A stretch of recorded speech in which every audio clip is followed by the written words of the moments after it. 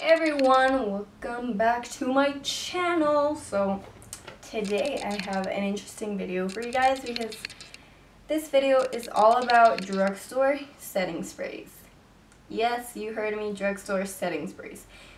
When I think about a good setting spray, normally I'm like Urban Decay All Nighter or Urban Decay Chill makeup setting spray. And I am glad that the drugstore has come out with some setting sprays because I am tired of paying a load of money just to set my face, basically. So today I have three makeup setting sprays. I've been testing them out for a while and I am here to tell you about them. So let's get started. The first one is one that I've had for the longest amount of time and what I'm talking about is Pixi by Petra Makeup Fixing Mist with rose water and green tea. Green tea. Girl, learn how to speak. with rose water and green tea. So what this says is that it's an all-over setting mist prolongs makeup wear and keeps it from moving, melting, or setting into fine lines or pores, comforts, protects, increases hydration, and balances skin for a fresh face. So you can use it, I've used it multiple times. As you can see, I quite like it. Um, but I've used it multiple times for different things. Sometimes I like to use it for like prepping my skin before makeup. Um, I've also used it after I applied a ton of powder, like just let it melt into my skin. But my favorite way is to um, set my, like when I'm done to set my face. Because as this says, this is hydrating. And it totally is like, it totally is hydrating. When I put it on, it doesn't feel like the normal setting sprays that are like, they leave your face feeling a bit crunchy, like, you know, like dry. No, this doesn't do that at all. And it smells great. It smells great. It smells like roses, basically. The only bad thing I would have to say about this product is that, I don't know what you call this, like the nozzle, the spray thing, it like shoots out. It doesn't like shoot out evenly and like openly into your face. It's like squirts and it gets in my eye loads of the time and it doesn't like take up my whole face. So if I do this, it's not to take up my whole face. It's just to go in one direction. Basically, it's great. This is a bit pricier. This is like $15. So, I mean, it's a bit up there with like the prices, like the drugstore prices, but honestly, it's great. Um, you can buy it at Target or online, I think. And if you're debating about getting this, you should totally get it because it's an incredible product. So the next two that I'm going to talk about are recent purchases and they're like the newest thing at the drugstore right now. The first one's this Wet n Wild Photo Focus. Okay, that's in French. is a Wet n Wild Photo Focus Setting Spray, which you can see right here is this tiny baby. And it's it contains 1.52 fluid ounces, so it does contain quite a bit of product.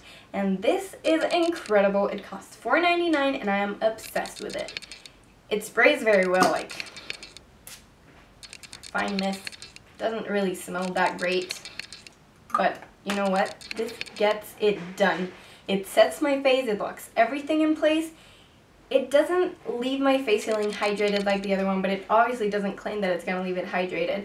Um, but this does fit my makeup really well. I feel like my. I feel like my makeup's to be like stay... My makeup's to be like stay? Wow. So, I feel like my makeup's to stay on my face all day. And, I mean, it, I can't feel it on my face after I apply it. So, I guess that's great. This is super cheap. Wet n Wild is an amazing brand. They have quite a bit of things, and a lot of them are great. If you see this at your local drugstore, buy it. I mean, it's it's really good. It prolongs the wear of your makeup, and it makes your face look fab. Now moving on to the last one. It's this baby right here. L'Oreal Infallible Pro Spray and Set Makeup Setting Makeup Extender Setting Spray. This is a sample size. Or like a travel size, whatever you want to call this. So yeah, my thoughts on this one. This thing smells disgusting. I don't know what is in here, but it smells really bad. If you are sensitive to scents, do not buy this because it stinks. Like, it, it literally stinks. Overall, I think it's a good setting spray. I don't think it's the best you can find at the drugstore, but it's good. So if you want to try it, you know, branch out, buy new things, you could totally get this one because it does set your makeup. And I am not sure if it prolongs the wear of my makeup, but it does set everything and it makes it makes your face look nice and makes all the powders melt into your skin and it makes you look like you're naturally snatched. But yeah, it's just not the best. The smell is really bad and after I apply this, I do notice that my skin feels a bit like dry and crunchy, so I mean, that doesn't really bother me. If it bothers you, then maybe this isn't the one for you, but I mean, honestly, it's good. It's not the best. You can buy better for cheaper, but it's good. If you want to try it, you can totally try it. Just, I mean, I cannot get over the smell of this. So yeah, you guys, that is it for this video, which was about the setting sprays, as y'all already noticed, because y'all already saw the video.